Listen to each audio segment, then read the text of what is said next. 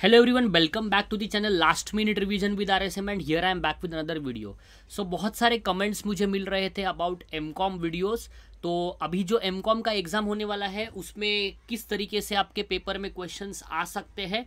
तो फ़िलहाल आज जो हम सेशन के बारे में डिस्कस करने वाले हैं this will be about the session for M com part two students तो पहले हम पार्ट टू स्टूडेंट्स का आज डिस्कस करेंगे and M com part two students जो है एम कॉम पार्ट टू के जो स्टूडेंट्स कॉलेज से एग्ज़ाम दे रहे हैं, उनका जो सेमिस्टर थ्री का एग्ज़ाम अभी होने वाला है सेमिस्टर थ्री का, उस सेमिस्टर थ्री के एग्ज़ाम में जो कॉस्टिंग का सब्जेक्ट है, उसके बारे में आज हम डिस्कशन करेंगे एंड किस तरीके से आपको प्रिपरेशंस करने because most of the students जो है वो जॉब करते हैं most of the students are working somewhere तो अगर आपको कॉस्टिंग के सब्जेक्ट में पासिंग मार्क्स लाने हैं तो वहाँ से डिस्कशन स्टार्ट कर दें बिकॉज़ मुझे पता है बहुत सारे बच्चे जो है वो uh, पढ़ने से लेके related to the point of costing related to the point of tax confusion में है कि हमको किस तरीके से प्रिपरेशंस करना है हमको किस तरीके से पेपर में क्वेश्चंस आ सकते हैं। तो सारे पॉइंट्स के बारे में हम आज डिस्कस करने वाले हैं। तो अगर आप पहली बार चैनल पे आ रहे हो तो सब्सक्राइब का बटन दबाइए ताकि आपको नेक्स्ट जो वीडियोस होंगे, वो रिविजनरी वीडियोस टाइम पे मिलते रहेंगे।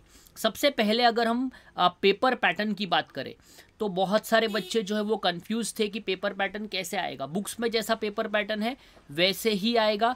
आपको 15 मार्क्स के प्रैक्टिकल क्वेश्चंस पूछे जाएँगे और उसके ऑप्शन में भी आपको 15 मार्क्स के ही प्रैक्टिकल क्वेश्चंस रहेंगे। अब यूनिवर्सिटी इसमें एक चीज़ कर सकता है कि ये 15 मार्क्स के क्वेश्चंस को दस मार्क्स में या पाँच मार्क्स में डिवाइड कर सकता है बट यूजुअली यहाँ पे वो एट और सेवन मार्क्स में डिवाइड करने का ट्राई कर सकता है। मतलब फिफ्टीन मार्क्स के क्वेश्चंस को डिवाइड एट और सेवन मार्क्स में जो है वो डिवाइड किया जा सकता है। ये ओवरऑल पार्ट है। क्वेश्चन नंबर वन भी आपको वैसे ही आएगा। क्वेश्चन नंबर टू भी आपको सिमिलर वे पे आएगा। क्वेश्चन नंबर थ्री भी आपको फिफ्टीन फिफ्टीन मार्क्स के दो क्वेश्चन आएँगे। और क्वेश्चन नंबर फोर जो रहेगा that will be related with objectives वो आपको ऑब्जेक्टिव्स पे आएगा। और उसके ऑप्शन में आपके पास शॉर्ट नोट्स रहेंगे then that will be theory questions तो ये आपका थियोरी क्वेश्चंस हो सकता है। अब जो एम कॉम पार्ट टू जो लोग कॉलेज से एग्ज़ाम दे रहे हैं उनका कॉस्टिंग का सिलेबस के बारे में डिस्कस करेंगे अबाउट द सेमिस्टर थ्री तो कॉस्टिंग सेमेस्टर थ्री में सबसे इंपॉर्टेंट अगर हम बात करें तो देखो आपको कौन से टॉपिक्स ऐसे हैं जो कंफर्म पढ़ने हैं सिंपल है। सबसे पहले अगर हम टॉपिक की बात करें तो that is called equivalent process तो actually this topic is very easy but थोड़ा सा लेंदी है। हम बेसिक पॉइंट्स के बारे में डिस्कस करेंगे। हर एक चैप्टर के बारे में आपको वीडियोज़ मिलने वाले हैं। तो लास्ट तक बने रहे, ये सारे वीडियोस को भी अगर आप देख के जाओगे तो सब कुछ आपका रिवाइज हो जाएगा।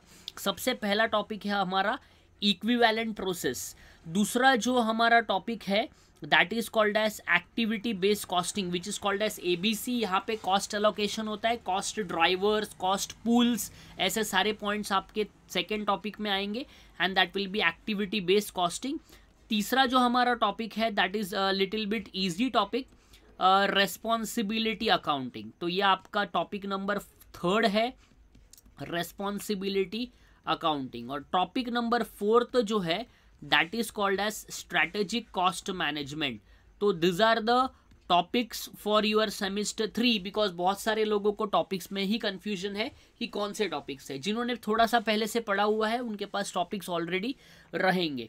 तो टोटल हमारे पास फोर टॉपिक्स है। Equivalent process activity based costing responsibility accounting and strategic cost management अब आपको सबसे पहले इसमें से कौन सा टॉपिक ऐसे पढ़ना है तो क्या करना है आपको सबसे पहले इक्विवेलेंट प्रोसेस से शुरू करना है। और हम भी थोड़ा सा आज डिस्कशन इक्विवेलेंट प्रोसेस का करते हैं। और इक्विवेलेंट प्रोसेस अगर आपको सही तरीके से समझ आ गया तो इसमें आपको फुल मार्क्स मिल सकते हैं। देखो इक्विवेलेंट प्रोसेस में मेजर चीज़ क्या है? You have already studied a topic of process costing in your T Y T Y में आपने प्रोसेस कॉस्टिंग पढ़ा है, ये उसी का एक्सटेंशन है। अगर हम इस टॉपिक की बात करें, ज़्यादा थियोरी में नहीं जाएँगे वीडियो काफ़ी लेंदी होना नहीं चाहिए। आपको मुद्दे की बात करता हूँ मेजर पॉइंट जो आपको पेपर से रिलेटेड याद रखना है। देखो इक्विवेलेंट प्रोसेस में सबसे पहला जो मेथड है that is called as FIFO method FIFO सभी को पता है which is called first in first out and second जो मेथड है that is called as average method ठीक है? ये दो मेथड्स के ऊपर आपको पेपर में क्वेश्चंस आते हैं।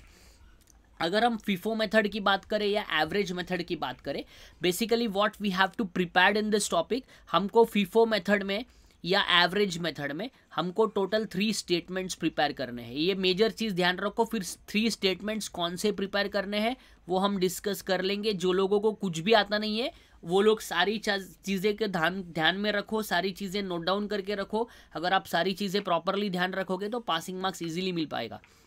हमको थ्री स्टेटमेंट्स बनाने हैं और उसके बाद हमको प्रोसेस अकाउंट बनाना है। ये बेस है इस चैप्टर का।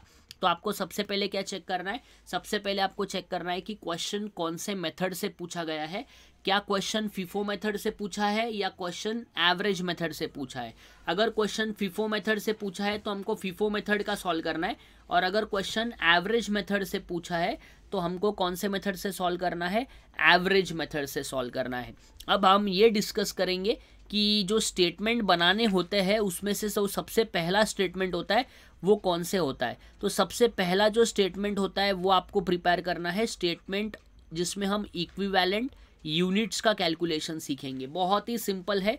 Don't get confuse about it काफ़ी सिंपल कैलकुलेशन है। देखो, हम कॉलम कैसे बनाते हैं, वो भी मैं आपको बता देता हूँ।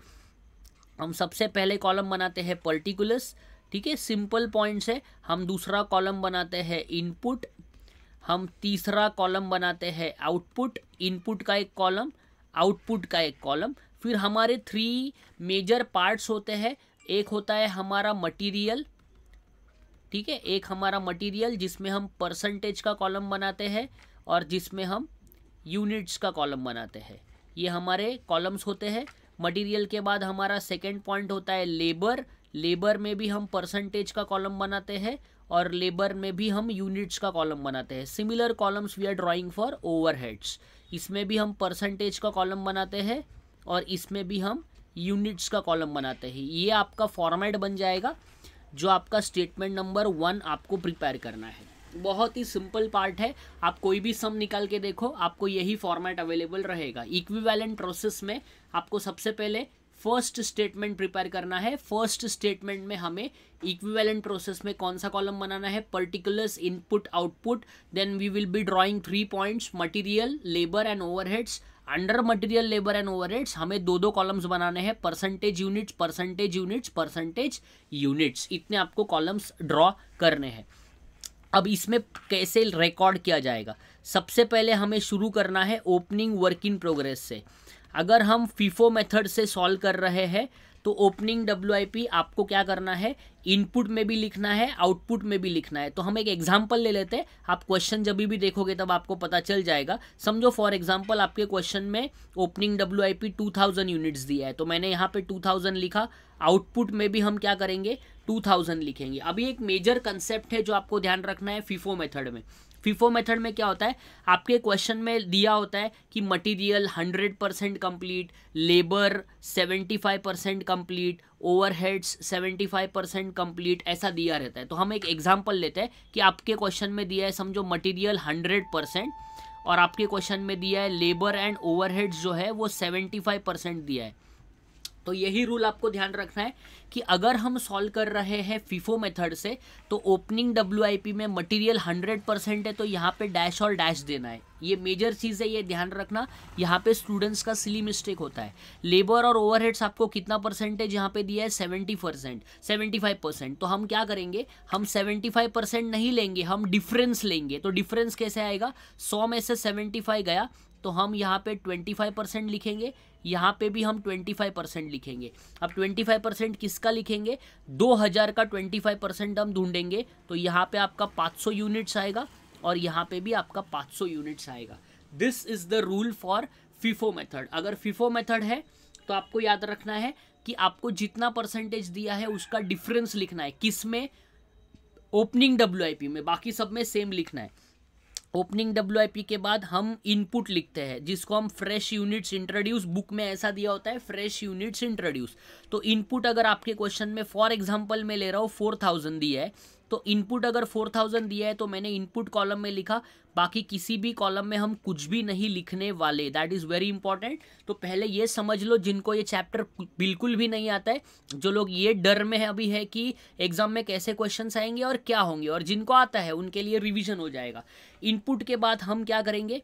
इनपुट के बाद हम इनपुट कॉलम में लिखेंगे। उसके बाद अगर कभी आपके क्वेश्चन में नॉर्मल लॉस है तो नॉर्मल लॉस भी आपको यहाँ पे लिखना है। और अगर नहीं है तो नॉर्मल लॉस हम लोग यहाँ पे नहीं लिखेंगे। उसके बाद हम पॉइंट लिखेंगे क्लोजिंग पी क्लोजिंग डब्ल्यू का मतलब होता है क्लोजिंग वर्क इन प्रोग्रेस तो क्लोजिंग वर्क इन प्रोग्रेस भी आपको क्वेश्चन में दिया रहता है। हम एक एग्ज़ाम्पल में ले रहे हैं तो क्लोजिंग पी आपके क्वेश्चन में दिया है, समझो टू दिया है ऐसा अज्यूम करते हैं ताकि पता चले। कहाँ लिखना है वो इंपॉर्टेंट है? तो इनपुट में कुछ नहीं करना है। इनपुट में आपको नहीं लिखना है आउटपुट में लिखना है और इसके लिए परसेंटेज दिया रहता है। तो आपके क्वेश्चन में अगर परसेंटेज दिया है तो हम लोग फॉलो करेंगे। समझो हम एक एग्जांपल लेते हैं। क्लोजिंग डब्ल्यू में मटेरियल जो है वो हंड्रेड परसेंट दिया है और लेबर और ओवरहेड्स जो है वो फिफ्टी परसेंट दिया है।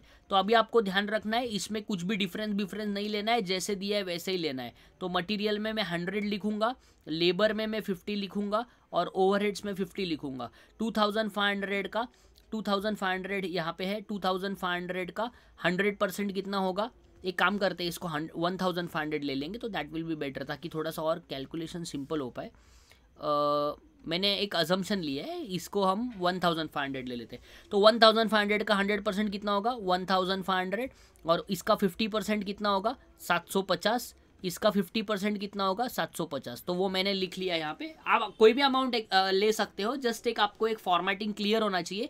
इसके लिए हमने वहाँ पे वन थाउज़ेंड फाइव हंड्रेड लिया। अभी देखो ओपनिंग पी लिखा डिफरेंस लिखना है, वो याद रखना है फिफो मेथड में। इनपुट लिखा इनपुट हमको इनपुट कॉलम में ही लिखना है, बाकी किसी भी कॉलम में नहीं लिखना है। क्लोजिंग WIP लिखा क्लोजिंग डब्ल्यू जो भी रहेगा क्लोजिंग WIP हमेशा आउटपुट में लिखना है और बाकी सारे कॉलम्स में लिखना है। अगर परसेंटेज दिया तो परसेंटेज फॉलो करेंगे, नहीं दिया तो हंड्रेड परसेंट ही सब में आ जाएगा। उसके बाद आपका आएगा ट्रांसफ़र टू नेक्स्ट प्रोसेस ठीक है?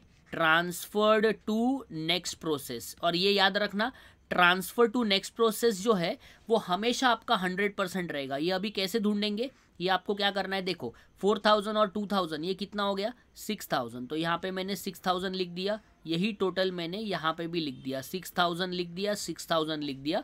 तो सिक्स थाउज़ेंड में से अभी हमको क्या करना है?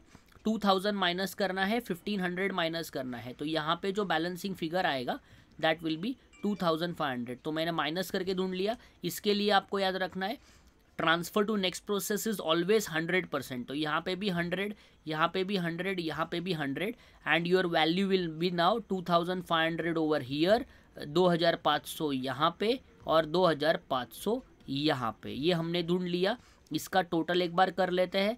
इसका टोटल देखो टू थाउज़ेंड फाइव हंड्रेड और पंद्रह सौ। ये कितना हो गया? ये हो गया फोर थाउज़ेंड मटीरियल का टोटल ओवरहेड्स का टोटल कितना हो गया? लेबर का। Two thousand five hundred plus five hundred is three thousand and seven fifty तो यहाँ पे आएगा थ्री सेवन फाइव ज़ीरो और यहाँ पे भी आपका आ जाएगा थ्री सेवन फाइव ज़ीरो तो this is the statement number one I hope कि आपको ये स्टेटमेंट नंबर वन क्लियर है. स्टेटमेंट नंबर वन अगर आपका क्लियर है तो आपका आधा सम राइट होने के चांसेस है बिकॉज़ ये पूरा सम नहीं है. इससे हम और दो स्टेटमेंट प्रिपेयर करते हैं। तो पहला स्टेटमेंट हम कौन सा प्रिपेयर करते हैं? First statement we are preparing equivalent units जिनको कुछ भी चीज़ें इस चैप्टर से नहीं आती है। ये स्टेटमेंट अपने बुक्स में ड्रॉ करें, ये स्टेटमेंट से रिलेटेड क्वेश्चन को प्रैक्टिस करें। एक ही एक ही वीडियो में अगर मैं दोनों स्टेटमेंट तीनों स्टेटमेंट बता दूँगा तो वीडियो थोड़ा लेंदी हो जाएगा।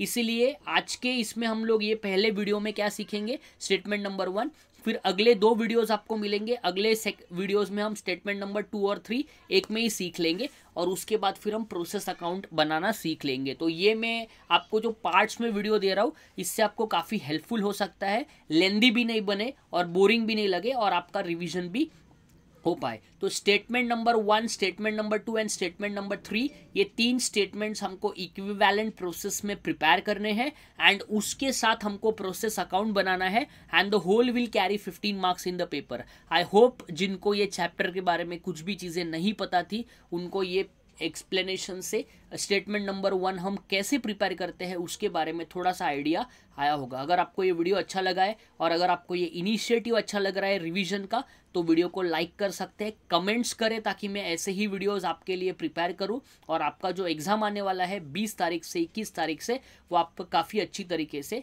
जाए। Thank you very much bye bye next video में मिलते हैं सेकेंड स्टेटमेंट के साथ.